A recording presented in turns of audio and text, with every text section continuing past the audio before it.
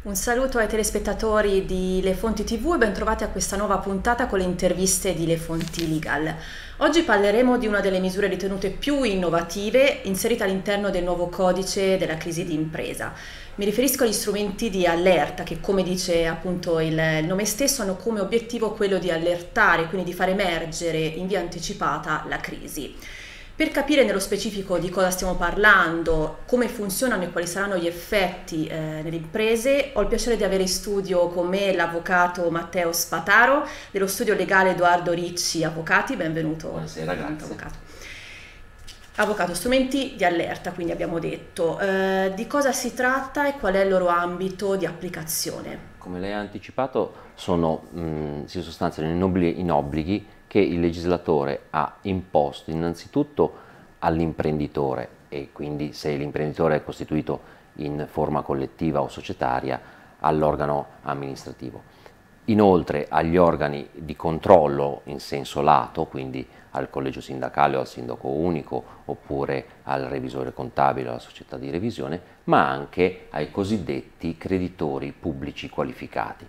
Tutti obblighi funzionali alla eh, intercettazione precoce di, dei segnali di crisi e quindi a prevenire, se possibile, che eh, la crisi eh, evolva in una situazione di insolvenza irreversibile quindi a salvaguardia del patrimonio aziendale nell'interesse anche dei terzi e dei creditori. Si applica a chi? Al debitore che svolge attività imprenditoriale, anche all'impresa agricola e anche alle imprese minori. Sono invece però esclusi eh, le grandi imprese,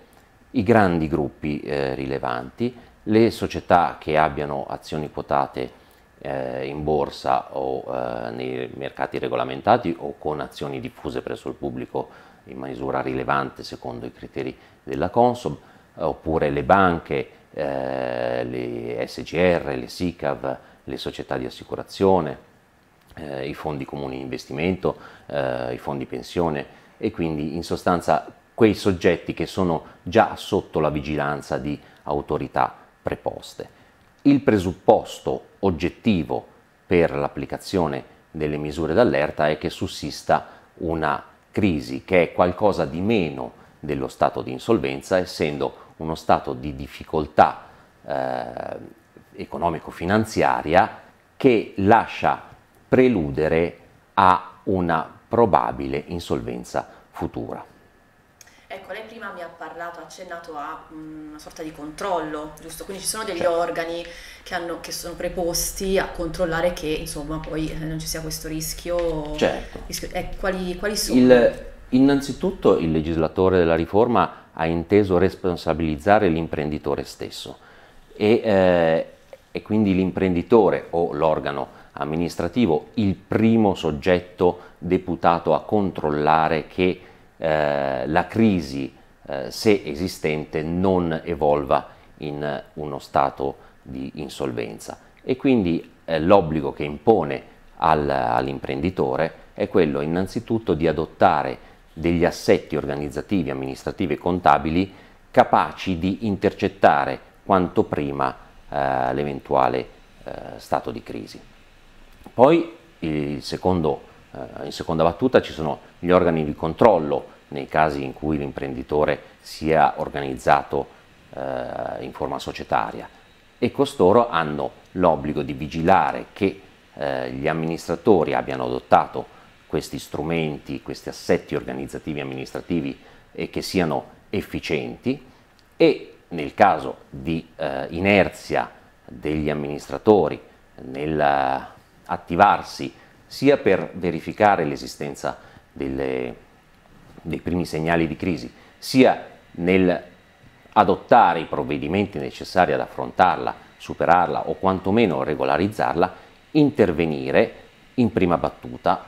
e quindi nei confronti dello stesso organismo eh, amministrativo, segnalando se vi sono fondati indizi di crisi e sollecitando una eh, presa d'atto e di risposta in un termine piuttosto breve perché eh, è prevista una eh, relazione dell'organo amministrativo nel termine di 30 giorni dalla comunicazione che deve avvenire via PEC da parte dell'organo amministrativo. Poi vi sono anche i, dicevo, i creditori eh, pubblici qualificati che sono responsabilizzati a loro volta dal legislatore. Eh, si tratta dell'Agenzia delle Entrate, dell'INPS e dell'agente della riscossione, i quali devono monitorare costantemente la posizione, eh, l'esposizione del, del singolo imprenditore e quando questa superi certe soglie rilevanti, avvisare l'imprenditore, l'organo di controllo se presente e invitarlo a ripianare immediatamente l'intero debito, ovvero a assumere le eh, iniziative opportune, tra le quali c'è in questo caso, per quanto riguarda gli strumenti di allerta, la eh, composizione assistita della, della, crisi, che è rimessa all'OCRI, che è un altro organo di controllo che non ha degli obblighi mh, eh, di segnalazione o di iniziativa, ma che sulla eh, istanza dell'imprenditore, ovvero dietro segnalazione degli organi di controllo o dei creditori eh, pubblici qualificati, deve intervenire. Ecco, quindi si tratta insomma, di, un, di, un, percorso abbastanza complesso, comunque una, una sorta di eh, fasi di controllo, come, come lei mi ha, mi ha accennato. Sì, eh, sicuramente sì. Eh, il legislatore in questo senso, eh, a mio avviso, ha voluto, eh, come dicevo prima, responsabilizzare tutti gli attori della, mh, della vita imprenditoriale, dall'imprenditore agli organi di controllo interni ai creditori più rilevanti eh, che in caso di insolvenza normalmente rimangono esposti con eh, crediti piuttosto consistenti. Eh, in questo modo eh, il legislatore ha voluto da subito attivare eh, dei controlli proprio sull'assetto dell'impresa, volti tutti a una eh, percezione per quanto possibile immediata e tempestiva della crisi e lo ha fatto eh, concedendo all'imprenditore che immediatamente segnali in modo tempestivo secondo dei criteri che sono stabiliti dall'articolo 24 del codice della crisi, segnali eh, la propria intenzione di accedere alla procedura eh, sotto la vigilanza dell'OCRI. Quindi cosa succede in caso di eh, emersione di segnali di crisi? Se l'imprenditore è diciamo, diligente e avverte il, eh, i primi indici della crisi, fa mh, mm, spontaneamente istanza all'OCRI per accedere alla procedura di composizione assistita della crisi. Se non lo fa l'imprenditore, lo deve fare, la segnalazione la deve fare l'organo di controllo interno. Qualora non lo dovessero fare questi due soggetti, sempre che ovviamente esista una situazione di crisi data da livelli di indebitamento verso gli enti pubblici che abbiamo citato prima, lo faranno i creditori pubblici qualificati. A fronte della istanza dell'imprenditore o della segnalazione degli altri organi, l'OCRI eh, nomina innanzitutto un collegio di esperti di tre esperti, dei quali uno deve essere eh, designato, eh, sentito il debitore, tra i eh, componenti delle rappresentanze eh, a cui eh, di cui l'imprenditore fa parte. Questo perché eh, si legge nella relazione del, al codice, il legislatore vuole che l'imprenditore senta come amico il, eh, l'OCRI come un ente che lo affianca nella soluzione della sua crisi per risolverla. Una volta che l'OCRI ha eh, nominato il comitato, il, comitato, il collegio scusate, eh, convoca per un'audizione riservata il debitore e l'eventuale eh, organo di controllo questo al fine di verificare se effettivamente sussiste una situazione di crisi e se la, eh, e quali possono essere le soluzioni più adatte al caso concreto per superarla e, eh, o regolarla. Ecco, quindi diciamo che affinché queste procedure di allerta poi eh, siano efficaci è necessario anche che si sviluppi una certa eh, cultura imprenditoriale, quindi di assunzione di responsabilità, insomma come, come diceva lei. Secondo lei, eh, diciamo, oggi le imprese sono pronte a questo tipo di nuova cultura, quindi basata magari sull'approccio preventivo e anche la, mh, una certa pianificazione interna o no? E se ci sono magari delle differenze anche tra grandi imprese e piccole e medie imprese su, sugli effetti Beh, magari di questa... Sicuramente il legislatore della riforma si è proposto un obiettivo ambizioso che è anche di cambiamento, di maturazione culturale del, dell'imprenditore italiano, imponendo da un lato una eh, visione prospettica della, eh, dell'andamento dell'impresa, perché l'imprenditore al fine di percepire i segnali eh, di un'eventuale crisi deve avere eh, presente quale può essere la, la sostenibilità della gestione e dell'indebitamento soprattutto in una prospettiva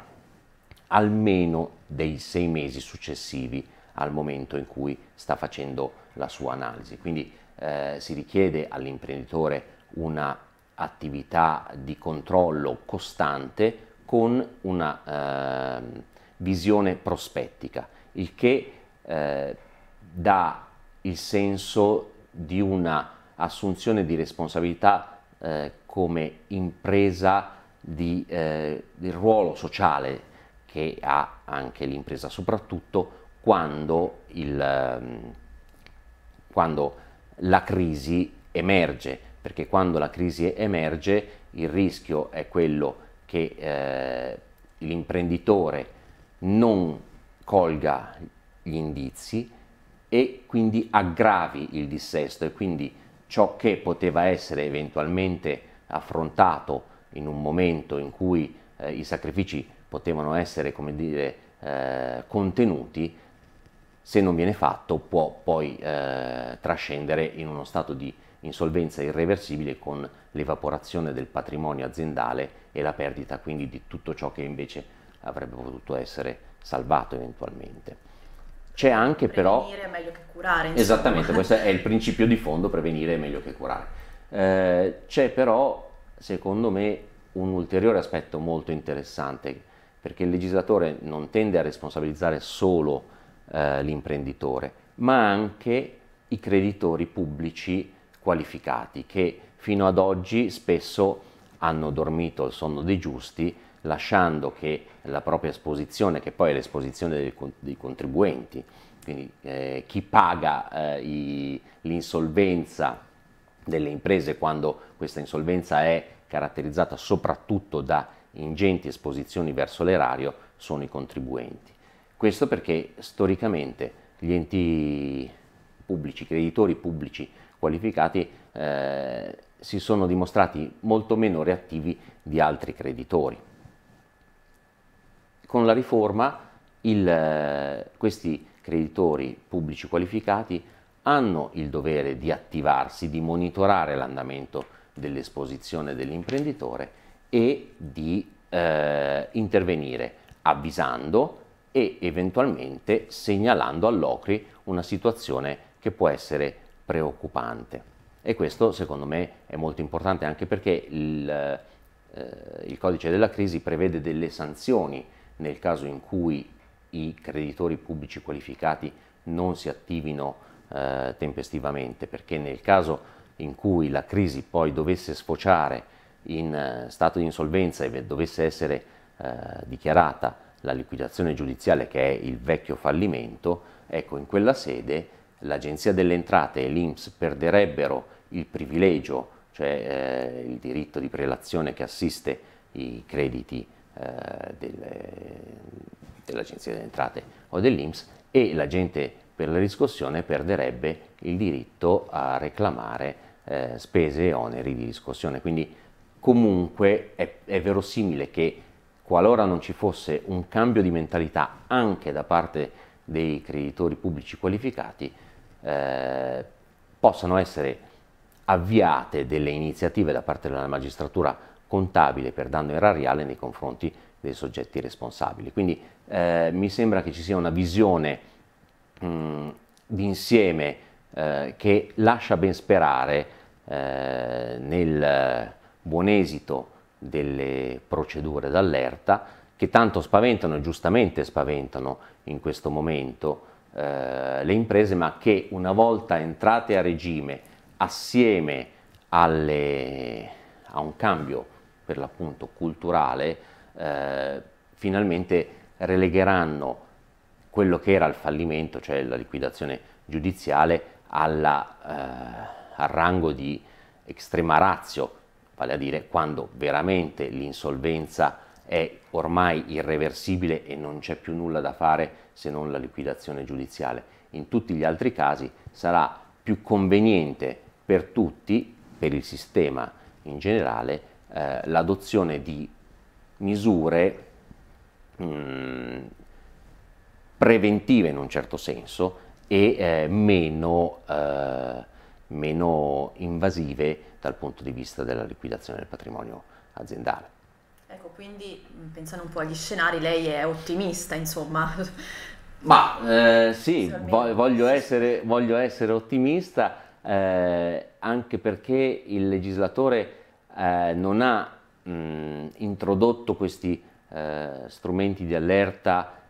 e si è disinteressato di, come, di quale sarà l'impatto degli stessi sul tessuto economico, perché è prevista l'istituzione di un osservatorio permanente che dovrà relazionare al Parlamento con cadenza annuale al fine di verificare come stanno andando le procedure d'allerta e